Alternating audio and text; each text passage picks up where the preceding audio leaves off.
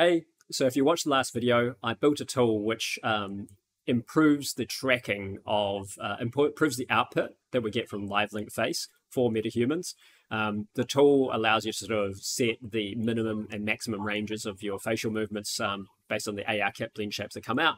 Um, it's no by no means finished, but it gives you a chance to have a look at the inner workings and, and have a play around with it. Plot your own projects or use it directly if you want to. So this video will show you how to set it all up and have a play. Okay, to get started, first we're going to need a project. Um, so I'm just going to call this, uh, I don't know, test project. Uh, blank one's fine. Now, I'm not going to spend a lot of time on this because uh, most of you guys will already have a project. Um, so I'm just going to set one up and we're going to quickly go through um, the basics of bringing in a MetaHuman into a project. All right, we are in an Unreal Engine 5 project now. So next you want to click Content and click Quixel Bridge. Now, if you don't have the Quixel Bridge plugin, search Unreal Engine 5 Quixel Bridge Setup. Quixel Bridge um, integrated into Unreal Engine 5, uh, but is separate in 4. But there's some really good steps on how to do that. I won't cover it off here because it'll, it'll take the video end up being way too long. So we've got Bridge open. Uh, we click Sign In. We bring um, we want to log in here. Okay, once you're logged in, uh, you'll see this little icon show up here, little person, uh, and it'll show your latest MetaHumans. Uh, it, make sure, obviously, you have to have a MetaHuman uh, Creator Early Access account to have access to the MetaHumans. Um, and then you click on the MetaHuman you want, and you click Add. Once it's all done, you'll see a new MetaHumans folder in your content folder, and you've got all the assets within uh, these two folders. Now that you've brought in the digital human, uh, you want to uh, enable a few more plugins.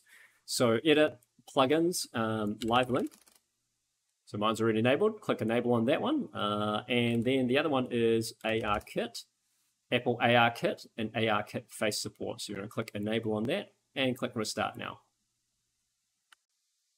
Right, the next thing we need to do is we need to get the Puppeteer plugin, Puppeteer as I'm calling it, uh, so we've got github.com, VictorNZ, Puppeteer, link will be in the video description. Um, and click on code, click download zip. So download it somewhere. Doesn't matter where you download it.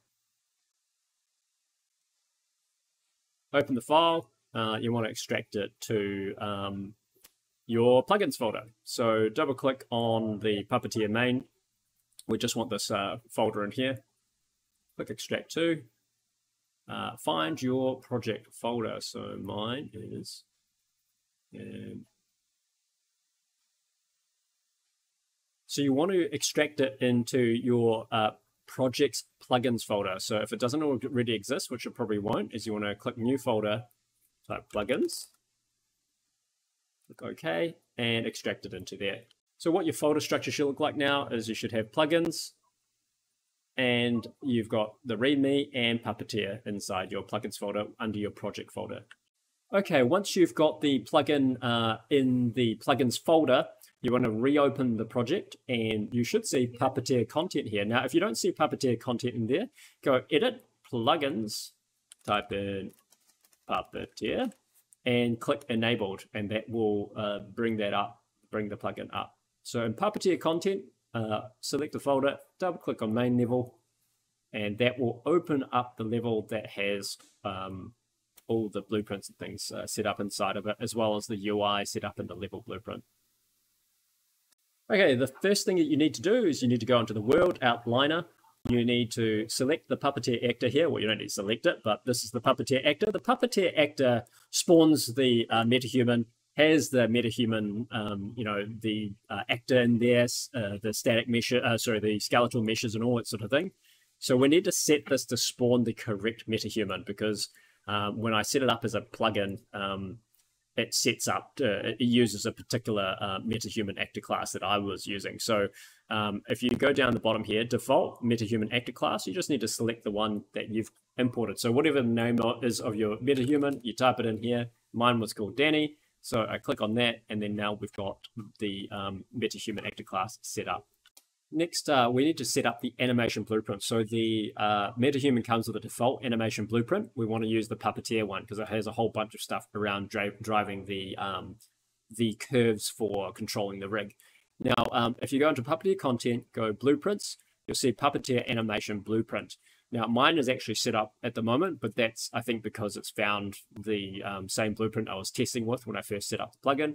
Um, what you want to do here is you want to uh, double click on this. And I think what I'll do uh, for you, which I can't show right now because it's not doing it for me, um, it will ask you to select a skeleton. Um, so the skeleton you want to search for is face archetype. Once you've done that, click compile on the animation blueprint and make sure that there's no errors in compilation.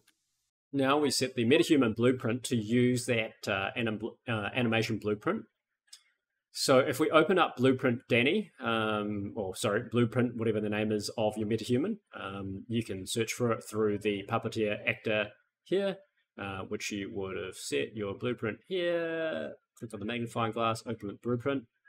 Um, and in here, you want to click on the class defaults and in here, uh, sorry, not the class defaults, you want to click on the skeletal mesh for face over here. That's for the face, the head. Um, and on the right-hand side, you'll see anim class. And it says, uh, well, this will say face anim BP on yours. Uh, so you want to change that to puppeteer anim BP underscore C. After that remapping to the face archetype, you should see it in that list. Uh, and select that. Okay, once you've got all that set up, you should be able to just press play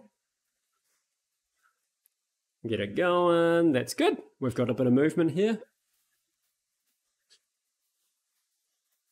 All right. Uh, so excuse the low frame rate. My computer is overheating. So it's not really dealing with things very well, but we'll, we can still show you how the interface works and hopefully your computer will run better than mine.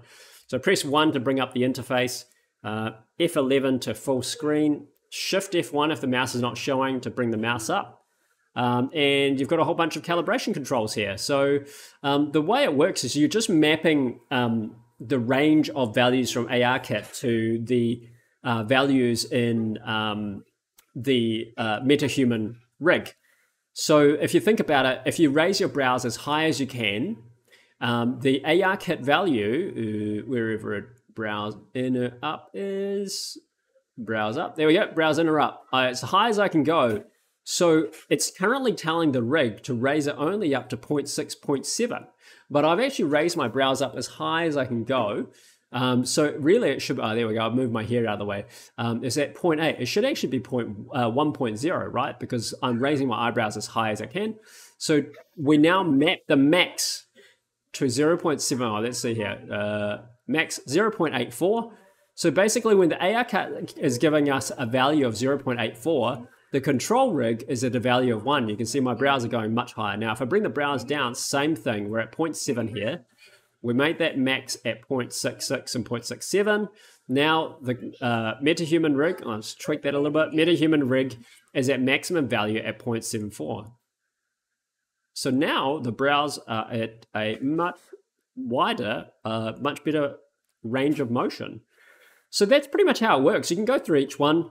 The minimum is uh, neutral, basically. At neutral, at resting, what is the zero value? Uh, well, what is the neutral value? You can see some of these. The bar is actually showing I'm currently doing a little bit of brows down, but I'm actually completely neutral here. So what we want to tell the system is that uh, when I'm seeing a value of 0.11, that is actually neutral. Uh, the control rig should not be driving any of the brows down control at all. So we just set minimum. So I get to a neutral position, tap minimum, tap minimum. And so now that will mean that whenever it's at a value of 0.06, the control, um, the metahuman control should actually be at a value of uh, zero. There's another faster way of doing it. You can click set neutral.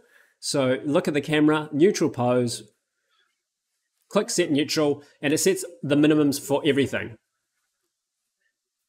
And that is how that works. You can go through. Now, you can turn off particular controls. Uh, so I can select none and you can do, you know, just the squint controls.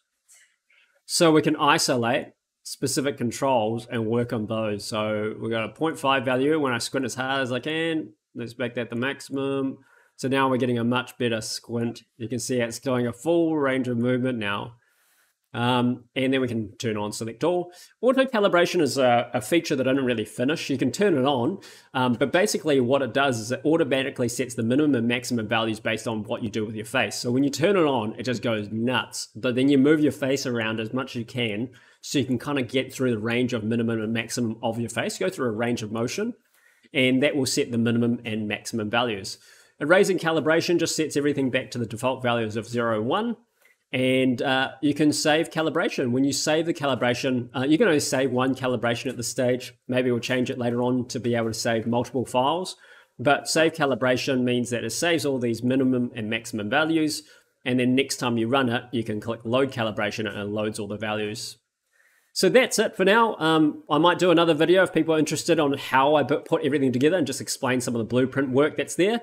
But um, this should be enough to get you started. If there are any issues with um, getting it going, um, feel free to um, comment and uh, I'll do my best to help uh, resolve the issues for you guys. All right, cheers for watching and um, have fun.